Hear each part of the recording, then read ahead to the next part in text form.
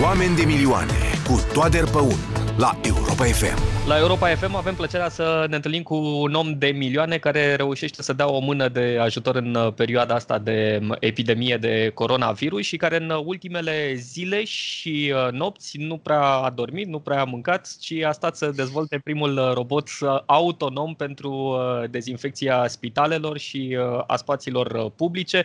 Un robot pe care l-ați văzut în străinătate că există, în România a folosit mai puțin, o firmă din România care până înainte de această epidemie de coronavirus uh, popula străzile orașelor cu uh, uh, biciclete, nu biciclete, cu trotinete trotinete electrice, exact, Wolfie pe numele lor. Acum s-a repoziționat în această perioadă și își folosește toate resursele pentru a da o mână de ajutor în lupta aceasta împotriva COVID-19. Octavian Iosif este programatorul și inginerul care a dezvoltat acest prototip aflat în prezent în teste într-o fabrică din Ploiești. Salut, Octav! Salut, Eddie! Povestește-mi, te rog frumos, ce ați făcut voi la Wolfie mai, mai exact? Este destul de simplu. La începutul crizei, ca toată lumea, am început prin a întreba nu ce poate face țara noastră pentru noi, ci ce putem face noi pentru țara noastră și pentru semenii noștri. În primă fază am uh, oferit trotinetele noastre la cost pentru orice Crucea Roșie și orice altă entitate guvernamentală care ar putea face folos de ele. Și uh, acum de o săptămână am, evident, de la începutul crizei am uh, tot investigat toate grupurile de Facebook și toate comunitățile care s-au format pentru a crea echipamente de protecție și ventilatoare și alte dispozitive medicale în regim open source și uh, am dorit să aducem și noi o contribuție cumva la toată mișcarea asta mondială, producând, proiectând ceva care este în puterea noastră un uh, dispozitiv de dezinfectare cu ultraviolete a camerelor, a spațiilor și uh, de atunci investigăm motoare, lucrăm, am construit un prototip la fabrica noastră care până acum construia trotinete electrice și lucra la prototipurile noastre de trotinete electrice produse și proiectate în România. Acum am tre- schimbat focusul pe roboți de și automatizări și sisteme automatizate de dezinfectare cu ultraviolete. Deja avem prototipul în, în testare. Eu sunt acasă, scriu cod, uh, caut data sheet de motoare și drivere de motoare. Uh, colegul meu, Ștefan, unul din founderii Ulfi, uh, este la telefon non-stop căutând distribuitori și producători de tuburi UV, pentru că e, e o mare problemă acum la nivel mondial să găsim. Avem deja discuții cu China, avem discuții cu Polonia, dar se pare că stocurile sunt, sunt foarte mici și lead time-ul e foarte mare. Nevoia este acum, este imediată. Deci, uh, dacă este cineva în public care ne poate ajuta cu stocuri rămase sau uh, disponibile de tuburi UV uh, fără producție de ozon, de T8, T6, orice fel de, de tub ozon de UV, ar fi grozav. Um, și cam asta facem noi în ultima vreme. Octavian uh, Iosif, uh, voi ați dezvoltat în ultima vreme, azi noapte îmi dădeai o poză cu prototipul, cum, uh, cum prinde el contur. În cât timp ar putea să devină aplicabil proiectul vostru și să fie folosit în, în spitale? Proiectul nostru este în, stă, în gata de producție acum, depindem doar de achiziția de tuburi Uh, putem să ne apucăm de producția uh, dispozitivelor și mâine, poimine, de achiziția pieselor și tot ce trebuie. Avem o fabrică care are, cum spuneam, ne producea nouă trotinete electrice și are excedent de producție în perioada asta. Au scăzut comenzile la orice fel de producție industrială. Deci putem să ne apucăm de astăzi, dacă vreți. Uh, nu, nu ne ține nimic în urmă iterăm foarte repede prototipuri și putem adapta la orice, orice găsim în piață, iar prețul de producție la care vrem să, să punem la dispoziție, deci nu avem niciun fel de profit sau așa mai departe, este de 1000 de euro pe, pe fiecare dispozitiv.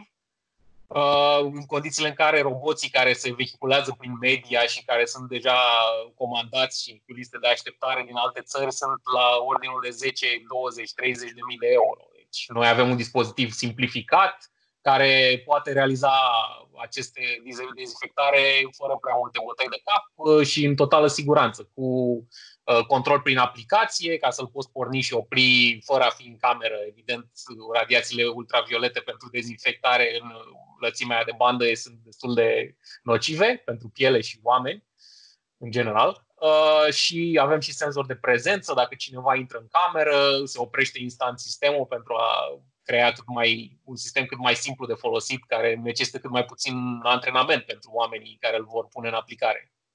Uh, Octavian Iosif, voi ați apucat să comunicați ideea voastră autorităților sau unor uh, unități medicale, să vedeți dacă există? Da, avem, suntem, colegul meu, cum spuneam, colegul meu Ștefan este acum, uh, chiar când vorbim în discuții cu tot felul de, de entități și private și publice, am primit uh, uh, feedback pozitiv până acum. Avem uh, un parteneriat cu Grand Pet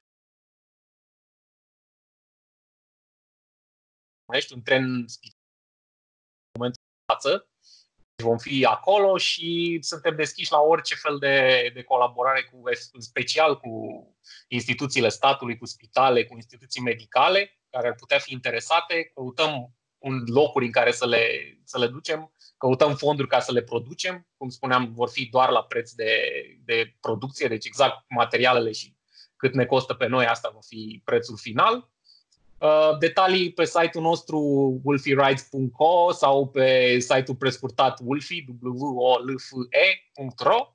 Puteți găsi acolo și prezentarea noastră și informații de contact. Deci Octavian Iosif, apropo de ceea ce faceți, voi v-ați implicat uh, pro bono în dezvoltare. Știu că uh, chiar vorbeam la început că tu ai pierdut zile, nopți ca să dezvolți această soluție. Înțeleg că mai departe voi vreți să accesibilizați această soluție și pentru alții care ar putea să producă uh, roboți similari. Da, absolut. Toată ideea de la care a pornit acest proiect este de a fi un proiect open source. În momentul în care finalizăm testele și avem prototipul total funcțional, testat din punctul nostru de vedere că este în siguranță și așa mai departe, ceea ce s-a întâmplat zilele astea. Uh, planurile și uh, codul și schema, diagramele de conexiune electrice și tot vor fi făcute publice open source, probabil pe GitHub, pentru, și evident publicate în toate grupurile în care facem parte pentru toți makerii și cei din, uh, din lume să poată dea feedback, să poată îmbunătăți designul și să poată să le producă ei înșiși cum, cum consideră. Cu alte cuvinte, după modelul uh, viziere.ro, uh, la fel și Wolfie pune la dispoziție acest robot autonom care ar putea uh, dezinfecta spații și nu este vorba doar de spitale sau camere, ci inclusiv de autobuze sau mijloace de transport public, corect? Da, da, exact. Aplicațiile sunt nenumărate și nevoia este urgentă, este acum și nu va dispărea într-o lună, două sau când se va ridica restricția de circulație. Va fi o nevoie multă, multă vreme și cred că este o nevoie la nivel mondial de aceste dispozitive mai ieftine încât și țările care nu au posibilități de achiziție atât de mari ca România să le poată accesa sau să le poată construi în regim propriu, local, folosind, uh, creând și locuri de muncă, creând și uh, na, interes la nivel local, desigur. Octavian Iosif, uh, pentru cei care urmăresc interviul și ne ascultă la Europa FM, cum am putea să contribuim, cum am putea să ajutăm inițiativa Wolfie? De ce ați avea nevoie din partea noastră, a celorlalți?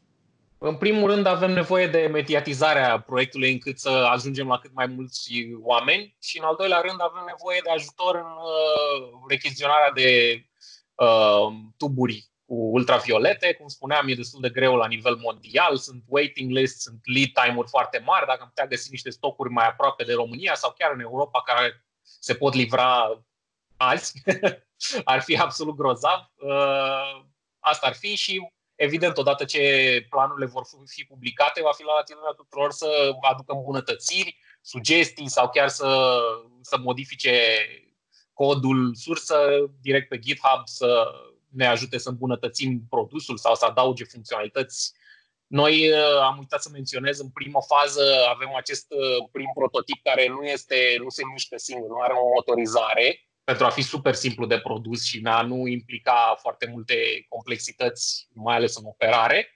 Dar uh, odată ce acest uh, primul fază este finalizat, avem următoarea fază în care vom și motoriza încât să poți trasa o linie prin camera respectivă, iar dispozitivul încet să navigheze camera și să acopere mai bine în felul ăsta toate suprafețele. Deci e o chestie care evoluează vorbești de punerea la dispoziție a dispozitivului dezvoltat de Wolfie uh, la prețul lui de producție, practic ca să acoperiți materia, da. materia primă folosită. Luați cumva în calcul și un uh, crowdfunding pentru chestia asta sau o formă de a aduna donații astfel încât să puteți acoperi această parte și să oferiți uh, mai departe ceea ce voi ați construit? Noi suntem deschiși la orice abordare ar putea să aducă acest dispozitiv oamenilor care au nevoie de el și instituțiilor care au nevoie de el, deci nu am exclus niciuna dintre aceste posibilități. Dacă vreo o persoană vrea să ne doneze o sumă pentru a produce un număr de și să le dona unei instituții anume sau unei instituții care considerăm noi că are nevoie, suntem absolut deschiși la orice fel de, orice fel de variantă. Octavian Iosif, mersi mult de tot și uh, mult succes! Vă mulțumesc și Oameni de milioane cu Toader Păun la Europa FM.